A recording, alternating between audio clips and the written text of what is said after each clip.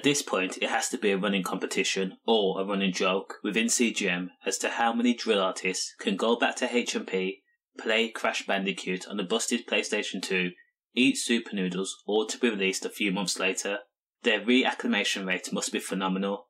These guys do not care whether they sleep in an 8x4 cell or the Ritz Carlton suite in Paris. Now, if Digga D isn't in Thameside, then it's Horrid1.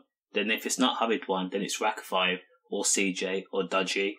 There needs to be a better game plan. After all, as a collective, CGM has to be one of the most successful drill collectives in the scene, and that has to do with thanks to the work rate of Digga D and his commercial appeal. Now, whether you like the rapper or not, you cannot say he does not support and champion his people like Horrid1. You have to commend him. But once again, Horrid1 is fresh home again for the hundredth time.